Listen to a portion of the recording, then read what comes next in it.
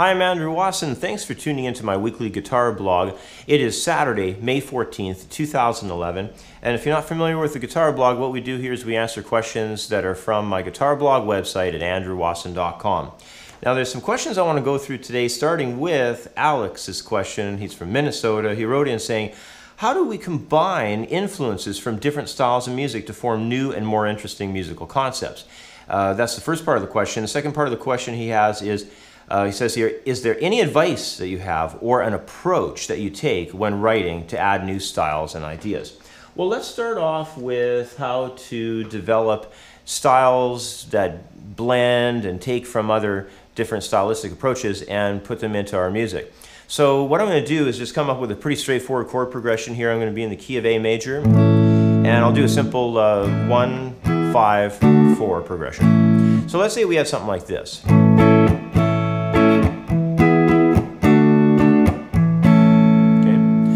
Now, if that was our tune and I wanted to say blend in a new stylistic approach in the song and have it be, I don't know, maybe perhaps jazzy, I could do it in several ways. I could have a really strong anchored intro that basically plays the triads that I was just doing. And then once the verse kicks in, I can mellow things out perhaps with some seventh quality chords and bring about that nice jazzy style. So here comes the verse.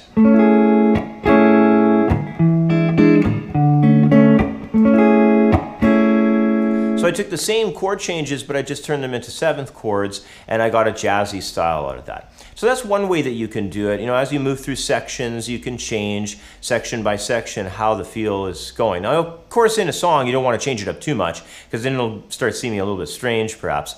Uh, one other element, though, I want to talk about is blending two part guitar concepts over top of one another.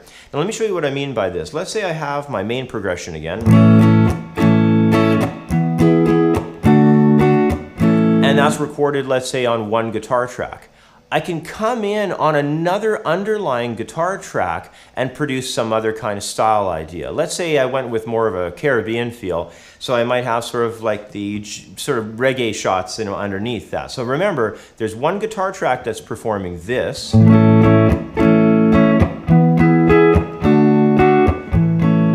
And then I'll have another guitar track under that shooting some uh, Caribbean ideas into the mix there.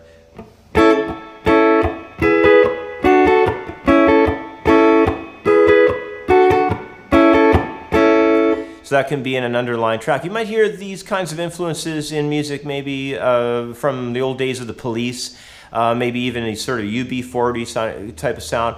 But the idea is, is that you have two layered tracks. One is doing one type of stylistic element and the other track does another. Now you have to keep in mind that again with styles a lot of it also depends on the rhythm that you're employing. So let's say if the rhythm is very uh, syncopated in triplets it probably is some kind of shuffle feel or maybe a swing feel. Uh, that would be something like maybe a blues type of an approach like this.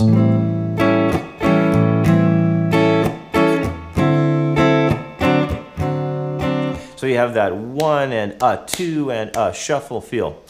So that's going to bring about a style right there, and that can be something to think about in terms of applying your style changes, is a lot of it has to do with rhythm. Let me give you one other quick uh, example of this. Let's say you wanted to have some kind of a funky feel as an approach in your piece. Well, that's going to be primarily 16th note driven. So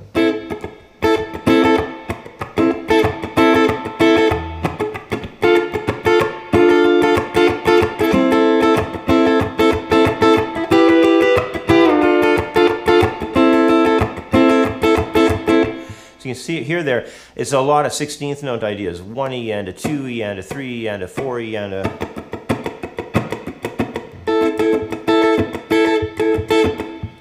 Get the idea, it's a lot of 16ths, so bringing in both that funk feel. And you also get some of that stuff in the old soul and R&B sounds as well. So that kind of covers a lot of information, but to get to the end of the question there about do I have any methods or approaches that I use, well, basically, the uh, concept and the applications of the rhythms is my main approach. I'll change up the rhythm feel and then I'll generate the kind of stylistic approach that I want. Um, songwriting is very creative and it's um, built, in my opinion, a lot on inspiration. So you feel really inspired about something, sit down, you try to start belting out some chord concepts and maybe some harmony, maybe some melodic ideas start coming to mind. So the evolution sort of begins there. So I don't have any kind of an approach really that I have that's uh, mathematical or scientific in how it all comes together. It's just basically uh, luck of the draw. Sometimes you sit down when you're inspired and you come up with some pretty cool ideas. And sometimes you can be somewhat inspired, sit down, and you get zip, zero, nothing. so just depends on what happens, you know, how the, uh, you know, it all, I guess the whole uh, essence of it comes together. But uh, let's take a look at the next question coming our way. Our next question comes to us from Louis. He says here, I'm 14 and I'm trying to learn and maximize the use of scales. I'd like to ask you what approach I should take in order to be more creative.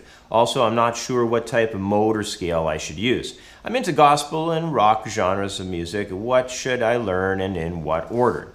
Uh, well, maximizing the use of scales, that's kind of an, an interesting statement. I mean, you know, you in order to get good at scales, you need to be both physically competent at them. You know, let's say if you wanted to play the scale, you have to have it to a good enough level where you're not thinking about it consciously. It's very, just very easy to do it. Uh, you know, if you need it in D minor, you know, in, in the middle of the neck, you should be able to play a few of those patterns without thinking very hard, you know, and they should just basically flow out of you. And that takes a lot of practice. You have to sit there with a metronome and drill on them and do exercises at fast paces. I think that's a real plus. You know, put, put a metronome at like 100 beats per minute and try to play 16th notes. You know, have the thing clicking away there and then try to go 16ths, which is groups of four over every click. So one E and, sorry, one E and a two E and a three E and a four E try to match the uh, the pace exactly to the metronome. One E and a two E and a three E and a four E and a one E and a two. And as, as soon as that starts coming together where it feels really fluid, then turn the metronome up faster, or perhaps even turn it down and try to do other paces, like maybe do uh, 16th note uh, triplet based ideas, or maybe even 30 second notes. But that kind of drilling work, it really makes the scale quite unconscious and you don't have to think about it very much. And, you know, it's just, just basically your mind can be 100% on music and making lines up with the scale. So I think that what you may need to do is start studying a lot about harmony. I, I find that very uh, popular as a, as a problem almost with students is they study a lot of the physical aspects of scales, but they don't go too deep into how the harmony relates. In other words, how the chords all interact around the key that they are in. So let's say uh, perhaps, I don't know, that we're maybe in the key of G minor and if you don't know the chords that are found in G minor, you're going to have a problem executing G minor scale ideas. Because in the key you'll have different movements of chords that'll bring about different sounds. And if your ear can really lock into those sounds and i guess in for, for lack of a, any kind of better concept with it if you can quickly memorize the sound of the chord movements because you're well aware of how those chords interact then you're going to play better. You're going to execute your scales and, and scalar ideas much better. And that's basically the trick to it. Now, in order to be creative, that is another tough one. We're getting a lot of questions uh, about creativity. It's you have to be inspired for one thing, and you have to have lots to draw off of. If you've never really studied very many other guitar players' solos, or you don't know very many songs, you're gonna have a problem with creativity. You know, I, will never forget an article that I read with Elton John where he was talking about when in, in the early days when he was working with songs and, and doing songwriting and composing, arranging his pieces that he was writing at those times, he was grabbing a lot of other music by people and organizing it, writing it out again, looking at how the verses and choruses operated, and he was gleaning concepts off of those songs and using the ideas of how they did things in those songs to formulate his own creative work in his own pieces. So he might have taken, you know, a piece of a song by a band of that era, maybe like, you know, Chicago or something, and he might have taken something like that and mixed it with an idea that came through by way of maybe a Pink Floyd tune and, and so on and so forth. So it's about taking elements that have occurred in other songs and in other styles and artists that, uh, sorry, in other music that you like, by other artists and amalgamating them all together and formulating so they actually create um, interesting ideas that you quite like and that they flow and interact very easily. Now, getting them to flow is the really really tough thing you have to it, it, it takes time and it takes work and effort and sometimes it doesn't happen in a day or even a couple of days. Sometimes you got to go through write a few sections of a song and then walk away from it and maybe four or five days later you can come back and be inspired. Uh, you know i've kind of heard stories about people waking up in the middle of the night and having an entire verse for a a song they've been trying to write for you know a couple of years or something. And I, I would imagine that does happen happen to people because I've had similar kinds of experiences myself, where you know I'll be driving along, come up with an idea, and rush home, grab the guitar, and try to f- make the idea into reality that I heard you know in, messing around uh, uh in my mind.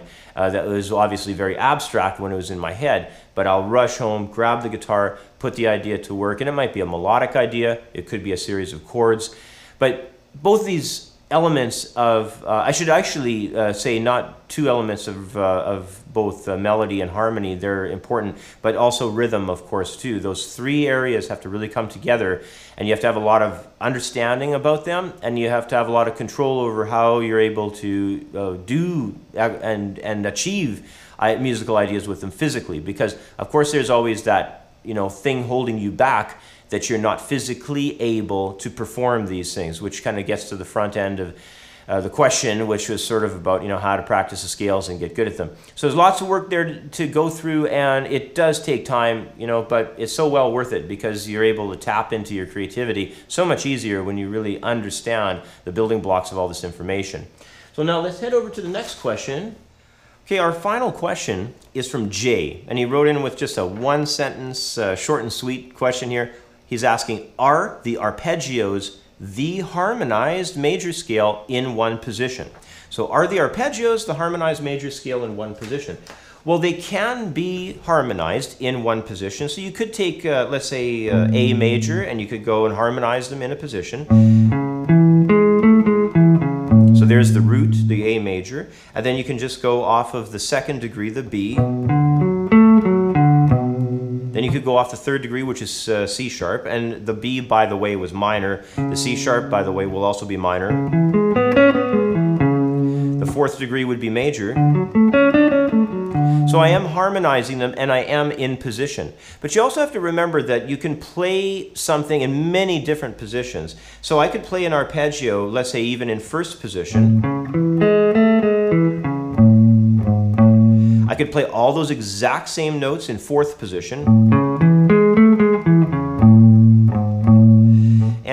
I think I'm kind of out of uh, positions for that particular A, but you know, let's say if I moved over to a C, I could play it in three different positions.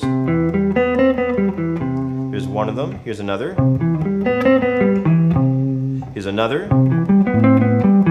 So now I've got three different positions, all the exact same notes have just basically gone across the neck into different uh, areas, but I'm doing the exact same tones. So this is why you've got to spend just gobs and gobs and gobs of time practicing your arpeggios, practicing your scales, practicing your chord shapes. Do the harmonized scales across the whole neck, do it in multiple positions, and really gain control over the whole neck. Because once you have this down, then those arpeggios are very easy to control. You can pretty much just do anything you want with them. You can come up with very cool lines. You can interlock them along the whole neck. Uh, last uh, uh, time I did the guitar blog, I showed a long the neck uh, minor 7 uh, arpeggio run. I could do the same thing with a major 7.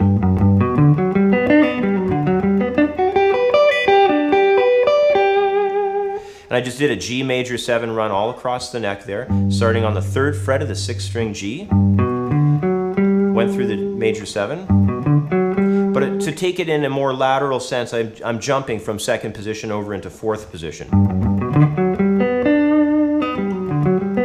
Then I'm jumping into the seventh position.